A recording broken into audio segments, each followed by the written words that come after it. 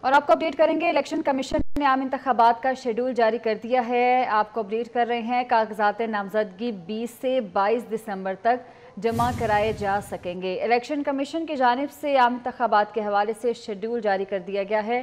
کاغذات نامزدگی بیس سے بائیس دسمبر تک جمع کرائے جا سکیں گے۔ عثمان خان ہمارے ساتھ ہیں، ان سے تفصیلات جانتے ہیں۔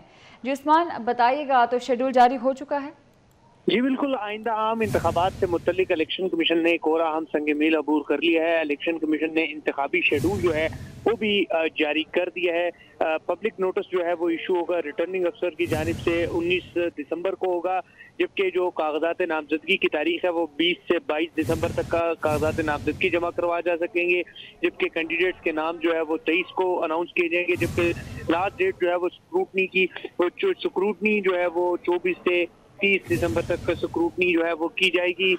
جبکہ اس کے ساتھ ہی ساتھ جو ہے وہ لاسٹ ڈیٹ جو ہے وہ فلنگ آف اپیرنس جو ہے وہ اس حوالے سے جو ہے وہ، اس حوالے سے بھی الیکشن کمیشن نے شیڈول جاری کر دیا ہے چوبیس سے تیس تک کا۔ جبکہ لاسٹ ڈیٹ جو ہے وہ ڈکلیریشن جو ہے اپیل ٹریبیونل کی وہ پہلے مہینے کی دس تاریخ ہوں گی۔ اس کے ساتھ ہی جو ہے ریوائز جو ہے کینڈیڈیٹ کی لسٹ وہ گیارہ جو ہے وہ جنوری کو جاری کی جائے گی۔ اس کے ساتھ ہی ساتھ لاسٹ ڈیٹ جو ہے وہ کاغذات واپس لینے کی بارہ جنوری ہوگی، جبکہ انتخابی نشانات جو ہے وہ تیرہ جنوری کو الاٹ ہوں گے، جبکہ آٹھ فروری کو جو ہے وہ انتخابات ہوں گے۔ جی۔ تو عثمان، تیاریوں کے حوالے سے مزید کیا ہدایات جاری کی گئی ہیں؟ آر اوز اور ڈی آر اوز کی تربیت کب سے شروع ہوگی جو کہ معطل کر دی گئی تھی؟ جی بالکل آر اوز اور ڈی آر اوز کی تربیتی پروگرام کی بھی منظوری دے دی گئی آر اوز کی تربیت اتوار اور پیر کو ہوگی، جبکہ ڈی آر اوز کی تربیت جو ہے وہ منگل کے روز ہوگی۔ چیف الیکشن کمشنر کے سربراہی میں آپ سے کچھ دیر قبل اجلاس ہوا تھا اور اس اجلاس میں R Os D R Os کا نوٹیفکیشن بحال کیا گیا تھا اور ساتھ ہی ساتھ جو ہے وہ آئندہ ہم انتخابات سے متعلق شیڈول جاری کر دیا ہے۔ جی۔ ٹھیک ہے، عثمان خان، ساتھ رہے گا۔ الیکشن کمیشن کی جانب سے سپریم کورٹ کے فیصلے کے بعد عام انتخابات کا شیڈول جاری کر دیا گیا ہے۔ اور شیڈول کے مطابق کاغذات نامزدگی بیس سے بائیس دسمبر تک جمع کرائے جا سکیں گے۔ امیدواروں کے فہرست تیئیس دسمبر کو شائع کی جائے گی۔ ریٹرننگ افسران چوبیس سے تیس دسمبر تک کاغذات نامزدگی کی سکروٹنی کریں گے۔ تو یہ شیڈول جاری کر دیا گیا ہے الیکشن کمیشن کی جانب سے۔ یاد رہے کہ لاہور ہائی کورٹ کی جانب سے آروز اور ڈی آروز کو معطل کر دیا گیا تھا، جس پر آج ان کیمرہ جو تھی لائیو سماعت ہوئی تھی۔ جس کے بعد سپریم کورٹ نے لاہور ہائی کورٹ فیصلے کو مسترد کیا تھا اور آروز اور ڈی آروز کو بحال کر دیا گیا تھا۔ ساتھ ہی ساتھ الیکشن کمیشن کو بھی الٹیمیٹم دیا گیا تھا کہ وہ عام انتخابات کا شیڈول جاری کرے، جس کے بعد الیکشن کمیشن کا اجلاس ہوا اور اب عام انتخابات کا شیڈول جاری کیا جا چکا ہے۔ اس شیڈول کے مطابق کاغذات نامزدگی بیس سے بائیس دسمبر تک جمع کرائے جا سکیں گے۔ امیدواروں کی فہرست تیئیس دسمبر کو شائع کی جائے گی، جبکہ ریٹرننگ افسران چوبیس سے تیس دسمبر تک کاغذات نامزدگی کی سکروٹنی کریں گے۔ آروز اور ڈی آروز جن کی ٹریننگ کو معطل کر دیا گیا تھا، اسے بھی بحال کیا جا چکا ہے الیکشن کمیشن کی جانب سے۔ الیکشن کمیشن کا اجلاس ہوا جس میں اہم فیصلے کیے گئے ہیں، تیاریوں کے حوالے سے بھی جائزہ لیا گیا اور جس کے بعد عام انتخابات کا شیڈول جاری کیا جا چکا ہے۔ کاغذات نامزدگی بیس سے بائیس دسمبر تک جمع کرائے جا سکیں گے۔ نوید چودھری، سینئر تجزیہ کار ہمارے ساتھ موجود ہیں۔ ان سے ان کا تجزیہ جانتے ہیں۔ جی نوید چودھری صاحب، سب سے پہلے بہت شکریہ آپ کے وقت کا۔ تو شیڈول جاری کر دیا گیا ہے سپریم کورٹ کے حکم پر عمل درامت کرتے ہوئے۔ جی یہ چونکہ فادر چیف جسٹس نے آرڈر کیا تھا کہ آپ تین گھنٹے کے اندر اندر جب انہوں نے فیصلہ جاری کیا کہ الیکشن آٹھ فیبری کو ہی ہوں گے، تو الیکشن کمیشن پاکستان سے کہا گیا کہ تین گھنٹے کے اندر اندر آپ نے شیڈول جاری کرنا ہے۔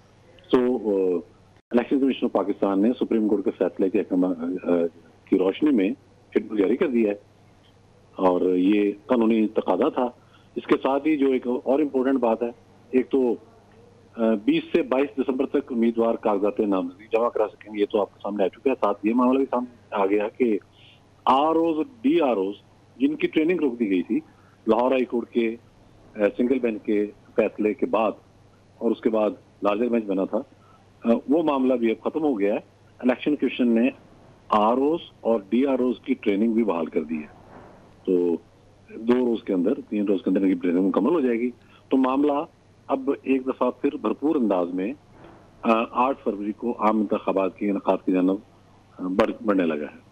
تو نوی چودھری صاحب، اب دوبارہ سے یہ معاملہ جو ہے وہ جیسے کہ آپ نے کہا ہے کہ انتخابات کی جانب بڑھ رہا ہے، تو ایسے میں کیا صورتحال کوئی بن سکتی ہے کہ اس کو بھی چیلنج کیا جا سکے یا دوبارہ سے کوئی خلل ڈالا جا سکے؟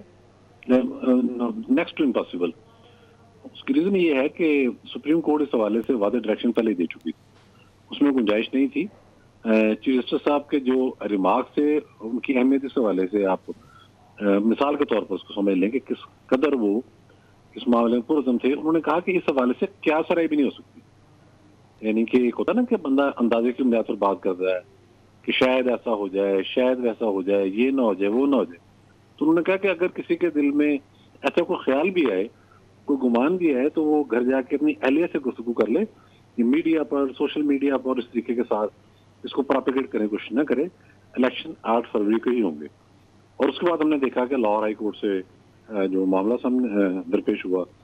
سنگل بینچ کے روبرو پی ٹی آئی نے درخواست دی اور یہ کہا کہ ہمیں ریلیف مل گیا ریلیف تو ظاہر ہم کو ملا تھا۔ پھر وہ لارجسٹ بینچ بھی بن گیا۔ سارا معاملہ ایک اور طرف چل پڑا تھا۔ جس طریقے کے ساتھ آج سپریم کورٹ نے اس سارے معاملے کو ٹیکل کیا ہے چیف جسٹس صاحب نے آج باہر جانا تھا، وہ رکے رہے۔ پھر تین رکنی بینچ بنا۔ پھر الیکشن کمیشن آف پاکستان نے اپنی گزارشات پیش کی، سارا کچھ بتایا۔ انہوں نے ہماری تیاریوں کی صورتحال کیا۔ ہے لیکن جو ریمارکس دیے گئے اور بار بار انہوں نے چیف جسٹس صاحب نے، جسٹس منصور علی شاہ صاحب نے، جسٹس صدا طارق مسود صاحب نے دین رکنی بینچ تھا۔ جس طرح سے چیزیں ڈکٹیٹ کرائیں اور بتایا، اس میں انہوں نے کوئی مارجن نہیں چھوڑا کہ اب اس حوالے سے کسی قسم کی کوئی رکاوٹ پیدا کی جا سکے۔ ٹھیک ہے، بہت شکریہ نوی چودھری صاحب آپ کے وقت کا۔